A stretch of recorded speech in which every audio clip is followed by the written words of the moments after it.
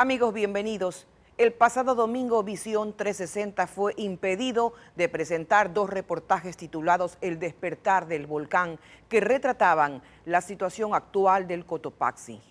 Se adujo en principio falta de tiempo para la revisión de las notas, dada la vigencia del decreto de excepción que dispone censura previa a toda la información con respecto al proceso eruptivo del volcán.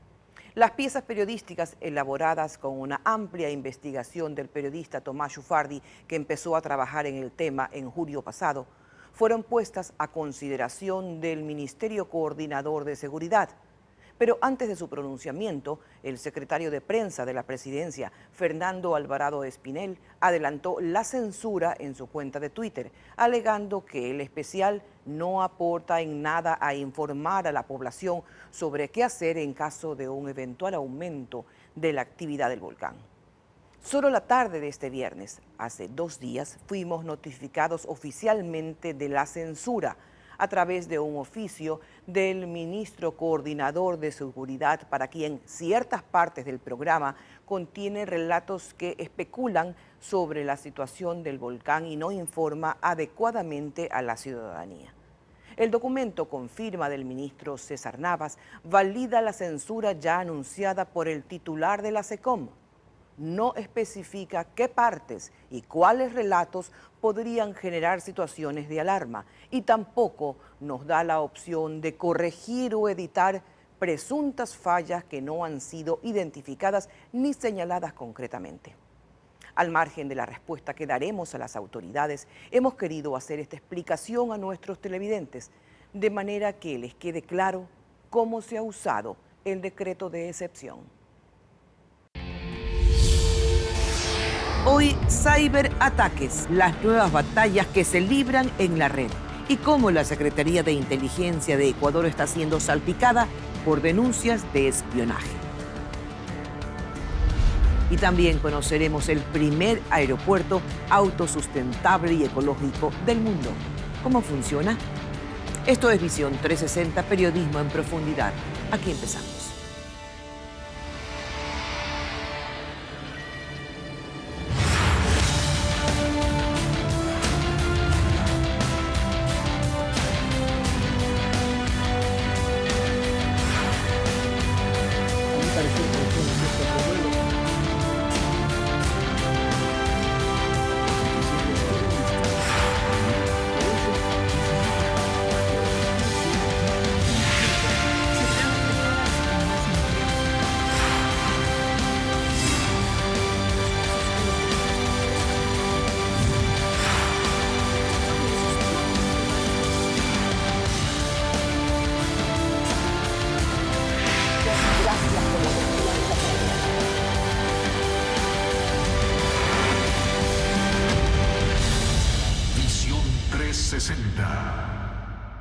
Ahora mismo, en este preciso momento, miles de computadores en todo el mundo podrían estar siendo intervenidos por algún virus. Usted seguramente no lo sabe, ni siquiera lo sospecha. Los gobiernos tienen claro que las nuevas guerras se van a pelear en el ciberespacio. ¿Cuán vulnerables estamos ante las nuevas armas de la tecnología?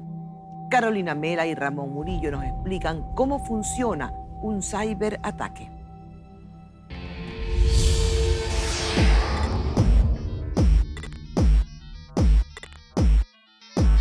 200.000 virus o troyanos intentan infectar un computador a diario. En un solo día se hacen más de 6 millones de ataques cibernéticos entre países. No hacen falta bombas ni tanques, basta una computadora e Internet. Los combatientes del siglo XXI pueden ejecutar sus planes desde una simple oficina. La ciberguerra puede poner de rodillas a un país e incluso sumergir en el caos a todo el mundo. Un ejemplo de eso ocurrió el 27 de abril de 2007. Estonia, un pequeño país báltico donde el 99% de su población utiliza Internet para casi todos sus servicios, transacciones bancarias, compras, trámites gubernamentales, todo dejó de funcionar. El país no supo durante horas qué ocurría dentro y fuera de Estonia. La táctica fue simple Los ciberpiratas secuestraron sus páginas y las redirigieron hacia sitios de propaganda rusa. El ataque duró semanas. Lotestonia dejó ver que es posible dejar incomunicado un país. Pero la primera arma cibernética se descubrió en el 2010. El ataque fue perpetrado por un gusano informático bautizado Stuxnet. Fue detectado en las plantas nucleares de Irán y tiene la capacidad de manipular equipos físicos sin que los operadores lo noten. Una amenaza nunca antes vista. Durante años el sistema se reprogramaba o se dañaba y nadie sabía por qué. El virus es tan sofisticado que se cree que no fue construido por una sola persona, sino por un Estado. ¿Pero cuál? No lo han logrado saber hasta ahora. La ventaja de la guerra cibernética es que no deja rastros. Se han detectado ataques cibernéticos en distintos países, principalmente en Estados Unidos, China, Rusia, Alemania y España.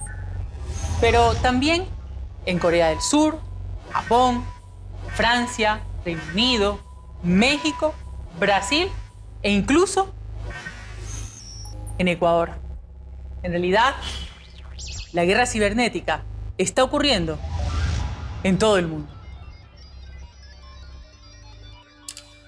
El presidente de la República, la presidenta de la Asamblea, páginas web de instituciones públicas, hasta el ministro de Defensa han sido hackeados. O les han hecho ataques planificados para hacer caer sus páginas, lo que se llama denegación de servicio. Denegación de servicio significa que yo te mando tu página web, por ejemplo, abajo. O qué sé yo, te colapso tu conexión de internet de modo que nadie en tu compañía puede salir. En noviembre de 2014, cuando se dieron las primeras manifestaciones en contra del gobierno, páginas web de varios medios de comunicación sufrieron este tipo de ataques. El de ecoavisa.com, por ejemplo, fue blanco de una denegación de servicio. ¿Quién o quiénes están detrás de estos actos? Hay diversos propósitos. Por ejemplo, si la persona es un político prominente o importante, pues detrás hay intereses de otros eh, grupos políticos, ¿no? A los cuales les interesa obtener información confidencial. Pero si estamos hablando, por ejemplo, de una persona que no es política, qué sé yo, un ejecutivo, un ama de casa, etc., normalmente el, el, fin que se persigue es económico. Es decir, obtener tu información privada, eh, obtener acceso a tus cuentas para en base a ello poder eh, recibir, por ejemplo, números de tarjetas de crédito y luego hacer estafas electrónicas. Los ataques no son solo a entes o personas específicas. Internet es la nueva plataforma para realizar graves delitos que puede afectarlo sin saber incluso a usted. Es que el hacker malo o cracker solo espera la vulnerabilidad de un sistema informático para hacer de las suyas y aprender a hacerlo no resulta tan difícil, porque en Internet se pueden encontrar los programas que simplifican cada vez más cómo hackear cualquier dispositivo electrónico. ¿Y cómo funcionaba el software o el malware que se llama, ¿no? Cuando quieres infiltrarte en, en, el computador de otra persona. Lo que tú haces normalmente es crear un aplicativo, ¿verdad? Que luce como algo beneficioso para ti. Por ejemplo, una aplicación, un video, un documento, un juego. ¿verdad? Y a ese, a ese código que hace lo que tú esperas que haga, le pegas, le adjuntas un código malicioso que por detrás te permite, por ejemplo, extraer información de la máquina o tomar control de ella. Esto resulta peligroso cuando en la actualidad la gran mayoría de personas dependemos de la tecnología, de la red. Ese espacio intangible donde se almacenan nuestros nombres, número de identificación, estado civil, si tenemos hijos o no, cuántos, sus nombres, los de nuestros padres, hermanos, transacciones bancarias. Y ahora no solo eso, los buscadores de Internet pueden registrar nuestras búsquedas en la web, almacenan nuestros correos, conversaciones de videoconferencias y chats. El mundo en la web es infinito y poco sabemos sobre quién está atrás manejando esta información y cómo se la está utilizando. Como sujetos, estamos llenos de vulnerabilidades de que alguien tenga esa información, sin siquiera nosotros saberlo. Pero como Estado, las consecuencias pueden ser más graves. Cuando se habla de Estado se requiere de mayor tecnología, muchos países invierten miles de millones de dólares para defenderse. Ecuador es uno de ellos. A finales del 2014, el gobierno anunció la creación de la Unidad de Ciberdefensa, bajo la orden del Comando Conjunto de las Fuerzas Armadas. Solicitamos desde marzo una entrevista con el director y una visita a las instalaciones, sin embargo nunca nos confirmaron o negaron el encuentro. La base está en Quito. El proyecto inició este año por un costo de 8 millones de dólares. El objetivo es impedir ataques cibernéticos a los sectores estratégicos, como la electricidad, el agua o el petróleo. Esta unidad se suma a los recursos de inteligencia y vigilancia que el gobierno ha implementado en los últimos ocho años. Pero primero hay que entender que existe un antes y un después en materia de inteligencia y seguridad del Estado y se marcó el 1 de marzo de 2008, con lo ocurrido en Angostura, cuando en un operativo conjunto entre Colombia y los Estados Unidos bombardearon el campamento donde estaba el número uno de las FARC, Raúl Reyes. Junto a él murieron 21 guerrilleros, entre ellos un ecuatoriano. A ver, Emilio, continuate un ratito, tengo una llamada supuestamente urgente del presidente Uribe. Queremos eh, indicar, amigos oyentes en todo el país, mientras el señor presidente de la República recibe un llamado internacional del presidente colombiano. Ocho horas después, el presidente se enteró sobre los bombardeos en Angostura. ¿Por qué el gobierno no se enteró antes de la incursión? ¿Por qué no conocía que los guerrilleros estaban en nuestro territorio?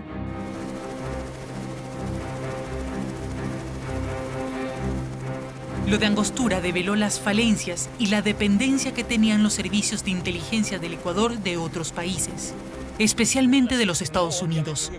Claras formas de infiltración del servicio de inteligencia norteamericano en nuestros servicios de inteligencia.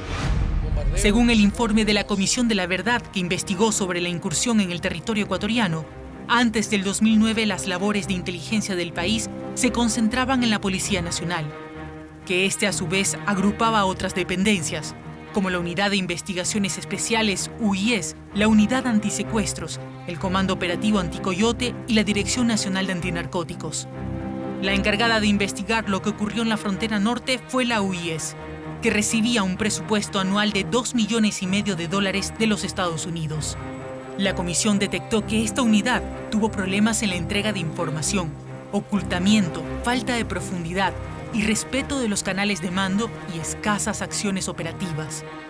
La comisión también relata que se había detectado una presencia itinerante de Raúl Reyes en el Ecuador las semanas anteriores al bombardeo, pero no se operó su captura. Consecuencia de lo sucedido en Angostura, todas las autoridades de las Fuerzas Armadas y el ministro de Defensa pusieron su renuncia. Y el presidente expulsó del país al agregado del Departamento de Seguridad de los Estados Unidos, Armando Astorga, por una carta dirigida a la Policía Nacional que condicionaba la ayuda de su país. Desde entonces, la idea de implementar una mejor tecnología y equipos de inteligencia se aceleró. Así se creó la Secretaría Nacional de Inteligencia, SENAIN. En el 2009 responde directamente al presidente de la República y rinde cuentas a la Asamblea y la Contraloría y tiene un presupuesto anual de 60 millones de dólares. Todo lo que se hace en Senaín, por ley, tiene una categorización de secreto. Amparados en la Ley de Seguridad Pública y del Estado, mm, nosotros no podemos dar detalles de los contratos que hacemos aquí en la Secretaría de Inteligencia. El actual secretario Romy Santiago Vallejo es teniente coronel de la Policía Nacional. La Comisión de la Verdad de Angostura lo vincula también como uno de los agentes de inteligencia de la UIS que el presidente Correa desapareció por sus vínculos con los Estados Unidos. Además, la comisión cuestionó que Vallejo, como parte de la seguridad de la presidencia, conociera sobre los bombardeos en Angostura con mayor anticipación y no comunicara al primer mandatario. El hecho no trascendió. Para el 2011, Vallejo fue condecorado por su labor de protección y custodia al presidente en la revuelta policial del 30S. Desde el 7 de julio, su labor y la de Senaín han estado en el ojo del huracán, cuando se hicieron públicos más de un millón de correos electrónicos de la empresa italiana Hacking Team.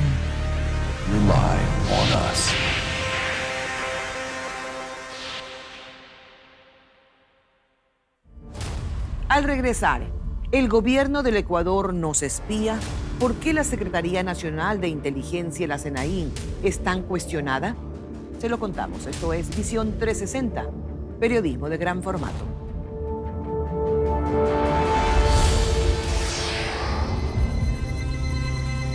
porque no ha habido ninguna orden judicial ni yo estaba incurso en ninguna causa que justificara que mis correos sean intervenidos y publicados.